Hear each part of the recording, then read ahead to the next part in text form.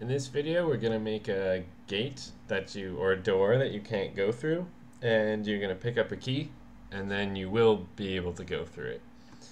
So, so I've already started off with some models I found or uh, a student found that one and I made this one. So I just popped the 3ds file and the FBX file. Those are just 3D model files. I clicked and drag and brought them in here. Now, sometimes when you pop it in, you may notice that's a really big key.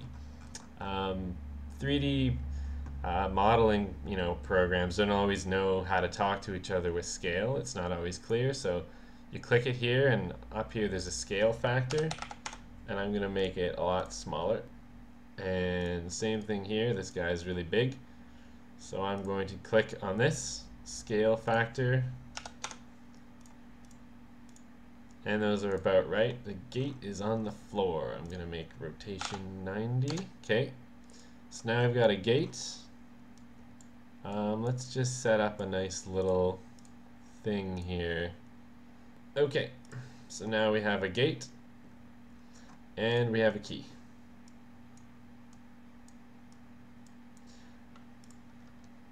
Now if I press play, of course I can actually go through this.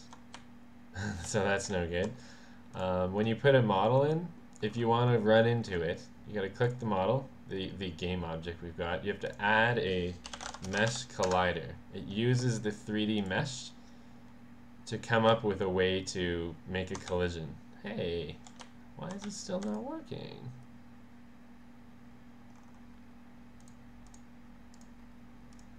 Oh yeah. Okay, so this gate here is a container. It doesn't really have the 3D model on it. When you expand it, one of these, ah, so you see all the, the faces light up. This is actually what you want to do the mesh collider with. And this guy, you, you don't need it there. So this is what you want to do a mesh collider with. There we go. So, cannot go through that door. Here's the key, except, hey, we can't pick it up.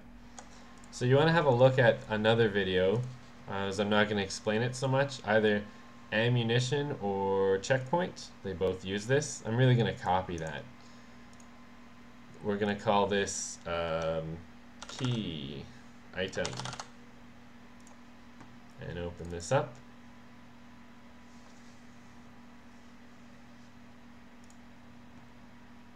So I'm really just going to copy that code because it's so similar. So have a look at the ammunition or the checkpoint video. I'm going to change this to dot key count. This variable doesn't exist yet, so we're going to go into game variables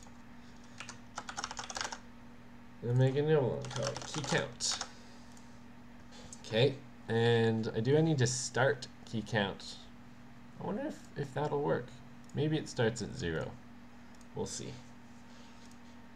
Uh, where the heck did it go? Key item. Okay.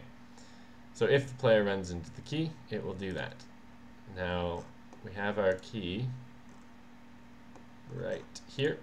I'm going to add a let's say a box collider. You know, it doesn't have to be a mesh collider. I don't need to use the whole mesh. I'll just make a simple box. Make it mesh collider, box collider. The size, I'm just going to make it a standard box. You can see the green, that's what we'll have to collide with. And of course it's an is trigger. And then we're to add that key item script. So this will pick up the key. It won't open the gate though. But we can pick up the key now. And we should, now the idea is we go here and I'll make the gate disappear. You can make it fall down or something or whatever. I'm going to go simple and just make it disappear. So the same idea, we need a uh, on trigger enter.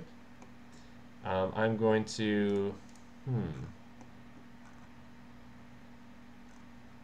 I'm going to attach it to the gate container here, because this doesn't really matter. Add component, and again, a box collider. You don't really want to collide with the green here. I'm going to have to move this around. So the size, going to make it bigger. bigger, bigger, whatever. Yeah, just make it a box. That'll that'll work. Three, three, three. Doesn't really matter. You know, in the general area. And of course, is trigger. So on this same thing that has the box collider, we're gonna, well, we need to make a new script, call it key gate, and open this up. And really, once again, very, whoops, very similar to ammunition, checkpoint, and key item. It's all very, very simple, very, very similar. Key gate is right here. So when we run into the key gate, if it's the player, and game variables dot key count is greater than zero, then we're going to use a key, uh, key count. So decrease how many keys we have by one, and then yeah, destroy the gate. You could do um, you could do ooh, game object dot add component rigid body so that you know well capital R. This would make it so the gate could then be blasted blasted down with a, projectile you know you could I don't know make it change color and explode or whatever. But you know gonna keep it simple. Destroy. But you can do anything you want with a game object at this point. Um, so back here. Gate. Attach our key gate. And of course, we go here. It's not, you know, it's a wall. But if we pick up the key, now our variable key count is increased by one, and we go here, boom, the gate's gone. We can go through.